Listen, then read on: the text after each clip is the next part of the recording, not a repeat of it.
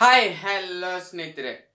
Previous video biology practical ವಿಡಿಯೋನಲ್ಲಿ ನೀವು comment ಬಾಕ್ಸ್ನಲ್ಲಿ ಕಮೆಂಟ್ ಮಾಡಿ ಕೇಳಿದ್ರಿ ನಮ್ಗೆ ಫಿಸಿಕ್ಸ್ ಮೇಲೆ ಕೂಡ ವಿಡಿಯೋ ಬೇಕಂತ. ಸೊ ಹಾಗಾಗಿ ಇಂದಿನ ವಿಡಿಯೋನಲ್ಲಿ ಒಬ್ರು ಸ್ಪೆಷಲ್ ಗೆಸ್ಟ್ ಇದ್ದಾರೆ. ಯಾರಪ್ಪ ಅಂದರೆ ಎಜುಕೇರ್ ಕರ್ನಾಟಕ ಚಾನಲ್ ಹೆಡ್ ಆಗಿರುವಂಥ ಮನೋಜ್ ಸರ್ ಸೊ ಅವರು ಇಂದಿನ ವಿಡಿಯೋನಲ್ಲಿ ಹೇಳ್ತಾರೆ ಫಿಸಿಕ್ಸ್ ಓವರ್ ವ್ಯೂ ಪ್ರಾಕ್ಟಿಕಲ್ ಎಲ್ಲವನ್ನ ಇಂದಿನ ವಿಡಿಯೋನಲ್ಲಿ ಮನೋಜ್ ಸರ್ ಹೇಳ್ತಾರೆ. ಸೊ ಹಾಗಾಗಿ ವಿಡಿಯೋ ಭಾಳ ಹೆಲ್ಪ್ಫುಲ್ ಆಗೋದಿದೆ. ವಿಡಿಯೋ ಕೊನೆ ತನಕ ವಾಚ್ ಮಾಡಿ. ಚಾನಲ್ಗೆ ಯಾರಾದ್ರೂ ಮೊದಲು ಬರೋ ವಿಸಿಟ್ ಮಾಡಿದ್ರೆ ಚಾನಲ್ ಸಬ್ಸ್ಕ್ರೈಬ್ ಹಾಗೆ ಬಾಜು ಬೆಲ್ ಐಕನ್ ಕೂಡ ಪ್ರೆಸ್ ಮಾಡಿ. ಮತ್ತೆ ಎಜುಕೇರ್ ಕರ್ನಾಟಕ ಚಾನಲ್ನ ಸಬ್ಸ್ಕ್ರೈಬ್ ಮಾಡೋದನ್ನ ಮರೆಯದಿರಿ. So video let's get started ಎಲ್ಲ ವಿದ್ಯಾರ್ಥಿಗಳಿಗೂ ಪ್ರಿನ್ಸ್ ಆನಂದ್ ಚಾನಲ್ಗೆ ಸ್ವಾಗತ. ಈ ವಿಡಿಯೋ ಮಾಡ್ತಾ ಇರೋದಕ್ಕೆ ಕಾರಣ ಏನು ಅಂತ ಅಂದ್ರೆ ನಮಗೆಲ್ಲ ಗೊತ್ತಿರೋ ರೀತಿ ಎರಡ್ ಸಾವಿರದ ಇಪ್ಪತ್ತನೇ ಸಾಲಿನಲ್ಲಿ ಏನು second P U C exam ನಡೀತಾ ಇದೆ. ಅದರ ಪ್ರಾಕ್ಟಿಕಲ್ ಎಕ್ಸಾಮ್ ಅಂತ ಹೇಳಿದ್ರೆ ವಿಜ್ಞಾನ ವಿದ್ಯಾರ್ಥಿಗಳು ಅಥವಾ ಸೈನ್ಸ್ ಸ್ಟೂಡೆಂಟ್ಸ್ ಯಾರು ಇರ್ತಾರೆ, ಅವರಿಗೋಸ್ಕರ ಪ್ರಾಕ್ಟಿಕಲ್ ಎಕ್ಸಾಮ್ ಅನ್ನು ನಡೆಸ್ತಾರೆ. ಈ ಪ್ರಾಕ್ಟಿಕಲ್ ಎಕ್ಸಾಮ್ ಏನಿದೆ ಅದು ಜನವರಿ ಇಪ್ಪತ್ತೈದರ ನಂತರ ಮತ್ತು ಫೆಬ್ರವರಿ ಹತ್ತರ ಒಳಗೆ ನಡೆಯುತ್ತೆ. ಆ ಸಬ್ಜೆಕ್ಟ್ಗಳಲ್ಲಿ ನಾನು ಫಿಸಿಕ್ಸ್ ಸಬ್ಜೆಕ್ಟಿನ ಒಂದು ಪ್ರಾಕ್ಟಿಕಲ್ ಎಕ್ಸಾಮ್ ಅನ್ನು ಯಾವ ರೀತಿ ಬರೀಬೇಕು ಅಂತ ಗೈಡೆನ್ಸ್ ಅನ್ನ ಕೊಡ್ತಾ ಇದ್ದೇನೆ. ಮತ್ತು ಗೈಡೆನ್ಸ್ ಅನ್ನ ಕೊಡೋದಕ್ಕೆ ನನಗೆ ಪ್ರಿನ್ಸ್ ಆನಂದ್ ಚಾನಲ್ನಲ್ಲಿ ಮಾತಾಡೋದಕ್ಕೆ ಅವಕಾಶವನ್ನು ಕೊಟ್ಟಿರೋದಕ್ಕೆ ಪ್ರಿನ್ಸ್ ಆನಂದ್ ಅವರಿಗೆ ನಮ್ಮ ಎಜುಕೇರ್ ಕರ್ನಾಟಕ ವತಿಯಿಂದ ಧನ್ಯವಾದ. ಈಗ ಈ ವಿಡಿಯೋದಲ್ಲಿ ನಾನು ಈಗಾಗಲೇ ಹೇಳಿದ ರೀತಿ ನಾನು ಸೆಕೆಂಡ್ ಪಿ ಯು ಸಿ ವಿದ್ಯಾರ್ಥಿಗಳಿಗೆ ಫಿಸಿಕ್ಸ್ ಪ್ರಾಕ್ಟಿಕಲ್ ಎಕ್ಸಾಮ್ ಅನ್ನ ಬರೆಯೋದಕ್ಕೋಸ್ಕರ ಗೈಡೆನ್ಸ್ ಅನ್ನ ಕೊಡ್ತಾ ಇದ್ದಾನೆ.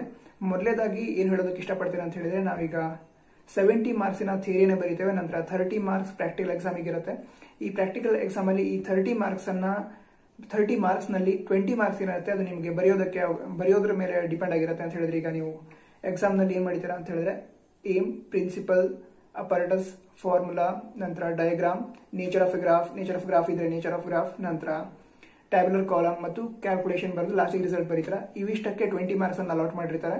ಅದೇ ರೀತಿ ಫೋರ್ ಮಾರ್ಕ್ಸ್ ಅನ್ನ ವೈವಾ ಕ್ವಶನ್ಸ್ ಅಂತ ಹೇಳಿದ್ರೆ ನಿಮಗೆ ಯಾವ ಎಕ್ಸ್ಪೆರಿಮೆಂಟ್ ಬಂದಿದೆ ಅನ್ನೋ ಆಧಾರದ ಮೇಲೆ ನಿಮಗೆ ಪ್ರಶ್ನೆಯನ್ನು ಕೇಳ್ತಾರೆ. ಆ ಪ್ರಶ್ನೆಗೆ ನೀವು ಯಾವ ರೀತಿ ಉತ್ತರವನ್ನು ಕೊಡ್ತೀರಿ ಅನ್ನೋ ಆಧಾರದ ಮೇಲೆ ನಿಮಗೆ ಫೋರ್ ಮಾರ್ಕ್ಸ್ ಅನ್ನ ಅಲಾಟ್ ಮಾಡ್ತಾರೆ.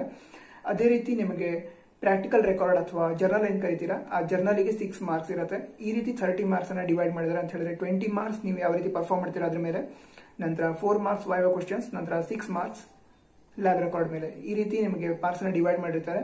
ಈಗ ಲ್ಯಾಬ್ ಎಕ್ಸಾಮಿಗೆ ಹೋಗೋಕ್ಕಿಂತ ಮೊದಲು ಯಾವ ರೀತಿ ಪ್ರಿಪೇರ್ ಆಗಿರಬೇಕು ಅಂತ ಪ್ರಿಪೇರ್ ಆಗಿರೋದು ಯಾವ ರೀತಿ ಅಂತ ಅಂದರೆ ನಿಮಗೆ ಯಾವ ಯಾವ ಅಪರ್ಟಸ್ ಅಥವಾ ಯಾವ ಯಾವ ಉಪಕರಣ ನಿಮಗೆ ಎಕ್ಸಾಮ್ ಬರೆಯೋದಕ್ಕೆ ಅವಕಾಶ ಅವಶ್ಯಕತೆ ಇದೆಯೋ ಅವನ್ನೆಲ್ಲ ನೀವು ತೆಗೆದುಕೊಂಡು ಹೋಗಬೇಕಾಗಿರುತ್ತೆ. ಎಕ್ಸಾಂಪಲ್ ಈಗ ಪೆನ್ ಪೆನ್ಸಿಲ್ ಸ್ಕೇಲ್ ನಂತರ ಮತ್ತು ಕೆಲವೊಂದು ಕ್ಯಾಲ್ಕುಲೇಟರ್ ಒಂದು ಬೇಕಾಗಿರುತ್ತೆ ಕ್ಯಾಲ್ಕುಲೇಷನ್ ಮಾಡೋದಕ್ಕೆ. ಸೊ ಇವೆಲ್ಲವನ್ನು ನೀವು ಎಕ್ಸಾಮ್ ಹಾಲಿಗೆ ತೆಗೆದುಕೊಂಡು ಹೋಗಿರಬೇಕು. ಅದೇ ರೀತಿ ನಿಮ್ಮ ಕಾಲೇಜ್ನಲ್ಲಿ ನಿಮಗೆ ಹಾಲ್ ಟಿಕೆಟ್ ಅನ್ನ ಯಾವ ರೀತಿ ಥಿಯರಿ ಎಕ್ಸಾಮಿಗೆ ಕೊಡ್ತಾರೋ, ಅದೇ ರೀತಿ ಪ್ರಾಕ್ಟಿಕಲ್ ಎಕ್ಸಾಮಿಗೆ ಕೂಡ ಒಂದು ಹಾಲ್ ಟಿಕೆಟ್ ಅನ್ನ ಕೊಟ್ಟಿರ್ತಾರೆ. ಆ ಹಾಲ್ ಟಿಕೆಟ್ ಅನ್ನು ಕೂಡ ನೀವು ತೆಗೆದುಕೊಂಡು ಹೋಗಬೇಕಾಗಿರುತ್ತೆ. ಇವಿಷ್ಟನ್ನು ತೆಗೆದುಕೊಂಡು ನೀವು ಎಕ್ಸಾಮ್ ಹಾಲಿಗೆ ಎಂಟರ್ ಮಾಡಬೇಕು. ಅದೇ ರೀತಿ ನೀವು ಪ್ರಾಕ್ಟಿಕಲ್ ರೆಕಾರ್ಡ್ ಅಂತ ಏನು ಹೇಳಿದೆ ಆ ಪ್ರಾಕ್ಟಿಕಲ್ ರೆಕಾರ್ಡ್ ಕೂಡ ಕೆಲವು ವಿದ್ಯಾರ್ಥಿಗಳು ಮರೆತು ಬರೋ ಸಾಧ್ಯತೆಗಳು ಇರುತ್ತೆ. ಸೊ ಅದಕ್ಕೋಸ್ಕರ ನೆನಪಿನಿಂದ ಈ ಪ್ರಾಕ್ಟಿಕಲ್ ರೆಕಾರ್ಡ್ ಅಥವಾ ಜರ್ನಲ್ ಏನು ಕರೀತಾರೆ, ಅದನ್ನು ಕೂಡ ತೆಗೆದುಕೊಂಡು ಹೋಗಬೇಕಾಗುತ್ತೆ. ಯಾಕಂತ ಹೇಳಿದ್ರೆ ಸಿಕ್ಸ್ ಮಾರ್ಕ್ಸ್ ಇರುತ್ತೆ.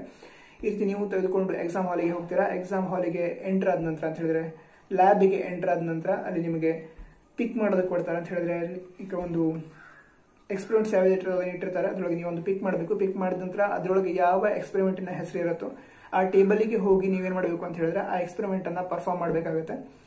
ನಂತರ ಪರ್ಫಾರ್ಮ್ ಮಾಡಬೇಕಾದ್ರೆ ಏನಾದರೂ ಡಿವೈಸಸ್ ಪ್ರಾಬ್ಲಮ್ ಕೊಟ್ರೆ ಅಂತ ಹೇಳಿದ್ರೆ ಈಗ ಮೀಟರ್ ಇರುತ್ತೆ ವೋಲ್ಟ್ ಮೀಟರ್ ಇರುತ್ತೆ ಗ್ಯಾಲೋಮೀಟರ್ ಇರುತ್ತೆ, ಈ ರೀತಿ ಬೇರೆ ಬೇರೆ ಡಿವೈಸನ್ನು ನಾವು ಯೂಸ್ ಮಾಡ್ತೇವೆ ಯಾಕಂತಂದರೆ ಸೆಕೆಂಡ್ ಪಿ ಯು ಸಿ ವಿದ್ಯಾರ್ಥಿಗಳಿಗೆ ಹೆಚ್ಚಿನದಾಗಿ ಸರ್ಕ್ಯೂಟ್ ಮಾಡೋದಿರುತ್ತೆ. ಸೊ ಈ ಸರ್ಕ್ಯೂಟ್ಗಳಲ್ಲಿ ಯಾವ್ದಾದ್ರು ಡಿವೈಸ್ ಸರಿಯಾಗಿ ವರ್ಕ್ ಆಗ್ತಾ ಇಲ್ಲ ಅಂತ ಹೇಳಿದ್ರೆ, ನಿಮಗೆ ಎಕ್ಸಾಮ್ ಹಾಲ್ನಲ್ಲಿ ಇಂಟರ್ನಲ್ ಎಕ್ಸಾಮಿನರ್ ಮತ್ತು ಎಕ್ಸ್ಟರ್ನಲ್ ಎಕ್ಸಾಮಿನರ್ ಅಂತ ಇರ್ತಾರೆ. ಇಂಟರ್ನಲ್ ಎಕ್ಸಾಮಿನರ್ ಅಂತ ಹೇಳಿದ್ರೆ, ನಿಮ್ಮ ಕಾಲೇಜಿನ ಫಿಸಿಕ್ಸ್ ಟೀಚರ್ ಆಗಿರ್ತಾರೆ ಮತ್ತು ಎಕ್ಸ್ಟರ್ನಲ್ ಅಂತ ಹೇಳಿದ್ರೆ ಬೇರೆ ಯಾವುದೊಂದು ಕಾಲೇಜಿನ ಫಿಸಿಕ್ಸ್ ಟೀಚರ್ ಇರ್ತಾರೆ ಸೊ ಅವರಿಗೆ ಇನ್ಫಾರ್ಮ್ ಮಾಡಿ ಅಂತ ಹೇಳಿದ್ರೆ ಈಗ ಈ ಡಿವೈಸ್ ಸರಿಯಾಗಿ ವರ್ಕ್ ಆಗ್ತಾ ಇಲ್ಲ ಅಂತ ಅವರಿಗೆ ತಿಳಿಸಿ, ಅದು ನಿಜವಾಗ್ಲೂ ಸರಿಯಾಗಿ ವರ್ಕ್ ಆಗ್ತಾ ಇಲ್ಲದೆ ಆಗ್ತಾ ಇದ್ದದ್ದಿಲ್ಲಾಗಿದ್ರೆ ಅದನ್ನ ರಿಪ್ಲೇಸ್ ಮಾಡ್ತಾರೆ ಟೀಚರ್ಸ್ ರಿಪ್ಲೇಸ್ ಮಾಡ್ಕೊಂಡು ನೀವು ಎಕ್ಸ್ಪೆರಿಮೆಂಟ್ ಅನ್ನ ಪರ್ಫಾರ್ಮ್ ಮಾಡಬಹುದು ಮುಂದಿನ ಮುಂದುವರಿಸಬಹುದು ಅದರ ನಂತರ ನೀವು ಎಕ್ಸಾಮ್ನಲ್ಲಿ ಬರೀಬೇಕಾದ್ರೆ ಮೊದಲಿಗೆ aim apparatus principle formula diagram nature of graph ಇದ್ರೆ ನೇಚರ್ ಆಫ್ ಗ್ರಾಫ್ ನಂತರ ಅಬ್ಸರ್ವೇಷನ್ ಟ್ಯಾಬ್ಯುಲರ್ ಕಾಲಮ್ ಇಲ್ಲಿ ಇವಿಷ್ಟನ್ನ ಬರೆದು ನೀವು ನಿಮ್ಮ ಟೀಚರ್ಸಿಗೆ ತೋರಿಸಬೇಕಾಗತ್ತೆ. ಟೀಚರ್ಸಿಗೆ ತೋರಿಸಿದ ನಂತರ ಅದು ಸರಿ ಇದೆ ಅಂತ ಅವ್ರು ತಿಳಿಸಿದ್ರೆ ನೀವು ಎಕ್ಸ್ಪೆರಿಮೆಂಟ್ ಅನ್ನ ಮುಂದುವರಿಸಬಹುದು. ಇಲ್ಲದೇ ಇದ್ರೆ ಅವರು ಏನು ತಪ್ಪಾಗಿದೆ ಅಂತ ಹೇಳ್ತಾರೆ, ಅದನ್ನ ಸರಿಪಡಿಸಿಕೊಂಡು ನೀವು ಎಕ್ಸ್ಪೆರಿಮೆಂಟ್ ಅನ್ನ ಮುಂದೆ ವರಿಸಬಹುದು. ಅದರ ನಂತರ ನಾವು ರಿಸಲ್ಟ್ ಅನ್ನ ಬರೆಯೋದು ಅಂತ ಹೇಳಿದೆ ಕ್ಯಾಲ್ಕುಲೇಷನ್ ಆದ ನಂತರ ರಿಸಲ್ಟ್ ಅನ್ನ ಬರೀತೀರಾ? ರಿಸಲ್ಟ್ ಅನ್ನ ಬರೀಬೇಕಾದ್ರೆ ಆ ರಿಸಲ್ಟ್ಗೆ ಎಸ್ ಐ ಯೂನಿಟ್ ಇದ್ರೆ ಎಸ್ ಐ ಯೂನಿಟ್ ಅನ್ನ ಬರೀಬೇಕು. ಎಸ್ ಐ ಯೂನಿಟ್ ಅನ್ನ ಬರೀದೇ ಇದ್ರೆ ಎಸ್ ಐ ಯೂನಿಟ್ ಇದ್ರೂ ಕೂಡ ನೀವು ಬರೀದೇ ಇದ್ರೆ, ಅದಕ್ಕೆ ಮಾರ್ಕ್ಸ್ ಕಟ್ ಆಗೋ ಚಾನ್ಸ್ ಇರುತ್ತೆ. ಸೊ ಎಸ್ ಐ ಯೂನಿಟ್ ಇದೆ ಅಂತ ಹೇಳಿದ್ರೆ ಕರೆಕ್ಟ್ ಆಗಿ ಎಸ್ ಐ ಯೂನಿಟ್ ಅನ್ನ ಬರೀರಿ. ಅದೇ ರೀತಿ ರೀಡಿಂಗ್ ಅನ್ನ ತೆಗೆದುಕೊಳ್ಬೇಕಾದ್ರೆ ಹೆಚ್ಚಿನದಾಗಿ ಪೆನ್ನಿನ, ಪೆನ್ನಿಂದಾನೇ ಬರೀರಿ ಹೊರತು ಪೆನ್ಸಿಲಿಂದ ಬರೆಯೋ ಹವ್ಯಾಸಗಳನ್ನ ಇಟ್ಕೊಳ್ಬೇಡಿ. ಅದೇ ರೀತಿ ನೀವು ಪ್ರಾಕ್ಟಿಕಲ್ ಎಕ್ಸಾಮ್ ಏನಿರುತ್ತೆ, ಅದ್ರೊಳಗೆ ಡಯಾಗ್ರಾಮ್ ಮತ್ತು ನೇಚರ್ ಆಫ್ ಗ್ರಾಫ್ ಮತ್ತು ಟ್ಯಾಬ್ಯುಲರ್ ಕಾಲಮ್ ಅಂದ್ರೆ ಕಾಲಮ್ ಹಾಕೋದಿರ್ತಾರೆ ಅದನ್ನಷ್ಟೇ ಪೆನ್ಸಿಲ್ನಲ್ಲಿ ಹಾಕಬೇಕು ಬಿಟ್ಟು ಬೇರೆ ಯಾವುದನ್ನು ಪೆನ್ಸಿಲ್ ಅಲ್ಲಿ ಬರೆಯೋ ಬರೆಯೋ ಹವ್ಯಾಸವನ್ನು ಇಟ್ಕೊಬೇಡಿ ಅಂತ ಹೇಳಿದ್ರೆ ಈಗ ಕ್ಯಾಲ್ಕುಲೇಷನ್ ಅನ್ನು ಪೆನ್ಸಿಲ್ ಮಾಡೋದು ಈ ರೀತಿ ಮಾಡಬೇಡಿ. ಇವೆಲ್ಲ ಆದ ನಂತರ ನಿಮ್ಮ ಅಟೆಂಡೆನ್ಸ್ ಅನ್ನು ತೆಗೆದುಕೊಳ್ತಾರೆ ನಿಮ್ಮ ಎಕ್ಸಾಮಿನರ್ಸ್ ಅಂತ ಹೇಳಿದ್ರೆ ಈಗ ನಿಮ್ಮ ನಿಮ್ಮ ನಿಮ್ಮ ರಿಜಿಸ್ಟರ್ ನಂಬರ್ ಮತ್ತು ನಿಮಗೆ ಯಾವ ಎಕ್ಸ್ಪೆರಿಮೆಂಟ್ ಎಕ್ಸ್ಪೆರಿಮೆಂಟ್ ಬಂದಿದೆ ಆ ಎಕ್ಸ್ಪೆರಿಮೆಂಟ್ ನಂತರ ನಿಮ್ಮ ಸಾಯನ ತೆಗೆದುಕೊಳ್ಳೋದು, ಇದು ನಿಮ್ಮ ಅಟೆಂಡೆನ್ಸ್ ಆಗಿರುತ್ತೆ ಸೊ ನಿಮ್ಮ ಅಟೆಂಡೆನ್ಸ್ ಅನ್ನು ಕೊಡಬೇಕು. ಅದೇ ರೀತಿ ನಾನು ಏನು ಹೇಳಿದೆ ಅಂತ ಹೇಳಿದ್ರೆ, ನೀವು ಹಾಲ್ ಟಿಕೆಟ್ ಅನ್ನು ಕೊಟ್ಟಿದ್ದಾರಂತ ಹಾಲ್ ಟಿಕೆಟ್ ಮೇಲೆ ಇಂಟರ್ನಲ್ ಎಕ್ಸಾಮಿನರ್ ಮತ್ತು ಎಕ್ಸ್ಟರ್ನಲ್ ಎಕ್ಸಾಮಿನರ್ ಇವರಿಬ್ಬರ ಕೂಡ ಸೈನನ್ನು ಕೂಡ ನೀವು ತೆಗೆದುಕೊಳ್ಬೇಕಾಗುತ್ತೆ ನಂತರ ಎಕ್ಸ್ಪೆರಿಮೆಂಟ್ ಅನ್ನ ಪರ್ಫಾರ್ಮ್ ಮಾಡ್ತೀರಾ? ಎಕ್ಸ್ಪೆರಿಮೆಂಟ್ ಅನ್ನ ಪರ್ಫಾರ್ಮ್ ಮಾಡಿದ ನಂತರ ರಿಸಲ್ಟ್ ಅನ್ನ ಬರೆದು ನೀವು ನಿಮ್ಮ ಟೀಚರ್ಸ್ಗೆ ತೋರಿಸಬೇಕಾಗುತ್ತೆ. ಆಗ ನಿಮ್ಮ ಟೀಚರ್ಸ್ ಇಂಟರ್ನಲ್ ಎಕ್ಸಾಮಿನರ್ ಅಥವಾ ಎಕ್ಸ್ಟರ್ನಲ್ ಎಕ್ಸಾಮಿನರ್ ನಿಮಗೆ ವೈವಾ ಅನ್ನ ಕೇಳ್ತಾರೆ. ಎಕ್ಸ್ಟರ್ನಲ್ ಎಕ್ಸಾಮಿನರ್ ವೈವಾ ಅನ್ನ ಕೇಳ್ತಾರೆ. ವೈವಾ ಅನ್ನ ಕೇಳಬೇಕಾದ್ರೆ ಕಾನ್ಫಿಡೆಂಟ್ ಆಗಿ ಆನ್ಸರ್ ಮಾಡಿ. ಅಕಸ್ಮಾತ್ ಆಗಿ ಯಾವುದೋ ಒಂದು ಪ್ರಶ್ನೆಗೆ ಉತ್ತರ ಬರದೇ ಇದ್ರೆ ಅದಕ್ಕೆ ನನಗೆ ಬರೋದಿಲ್ಲ ಸರ್ ಅಥವಾ ಬರೋದಿಲ್ಲ ಮೇಡಮ್ ನಾನು ಬೇರೆ ಕ್ವಶನ್ ಕೇಳಿ ನಾನು ಅದಕ್ಕೆ ಆನ್ಸರ್ ಮಾಡ್ತೇನೆ ಅಂತ ಹೇಳಿ ಬೇರೆ ಕ್ವಶನ್ ಅನ್ನ ನೀವು ಅವರಿಂದ ಪಡಿಬಹುದು. ಈ ರೀತಿ ನೀವು ನಿಮ್ಮ ವೈವಾ ಅನ್ನ ಆನ್ಸರ್ ಮಾಡಬಹುದು. ಅದೇ ರೀತಿ ನಂತರ ಪ್ರಾಕ್ಟಿಕಲ್ ಎಕ್ಸಾಮ್ ಅನ್ನು ಕಂಪ್ಲೀಟ್ ಆಗಿದ ನಂತರ ಅಂತ ಹೇಳಿ ವೈವಾ ಕ್ವಶನ್ಸ್ ಕೂಡ ಮುಗಿದ ನಂತರ ನೀವೇನು ಮಾಡಬೇಕು ಅಂತಂದ್ರೆ ನಿಮ್ಮ ಜರ್ನಲ್ ಏನಿರುತ್ತೆ ಅದನ್ನ ಟೀಚರ್ಸ್ ಅಂದ್ರೆ ಇಂಟರ್ನಲ್ ಎಕ್ಸಾಮಿನರ್ ಮತ್ತು ಎಕ್ಸ್ಟರ್ನಲ್ ಎಕ್ಸಾಮಿನರ್ ಇಬ್ರು ಸೈನ್ ಮಾಡಿರ್ತಾರೆ. ಅದನ್ನೊಂದ್ಸಲ ಸೈನ್ ಆಗಿದೆಯಲ್ಲ ಅಂತ ಚೆಕ್ ಮಾಡ್ಕೊಳ್ಳಿ.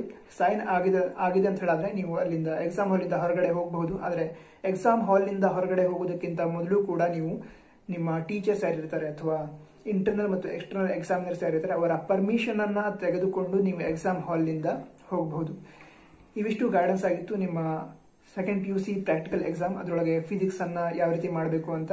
ಈ ಇನ್ಫಾರ್ಮೇಶನ್ ನಿಮಗೆ ಹೆಲ್ಪ್ ಆಗಿತ್ತು ಆದರೆ ವಿಡಿಯೋನ ಲೈಕ್ ಮಾಡಿ, ಇದುವರೆಗೆ ಚಾನೆಲ್ ಅನ್ನ ಸಬ್ಸ್ಕ್ರೈಬ್ ಮಾಡದೇ ಸಬ್ಸ್ಕ್ರೈಬ್ ಮಾಡಿ. ವಿಡಿಯೋನ ಪೂರ್ತಿ ನೋಡೋದಕ್ಕಾಗಿ ಧನ್ಯವಾದ. ಜೈ ಹಿಂದ್. ವಂದೇ ಮಾತರಂ.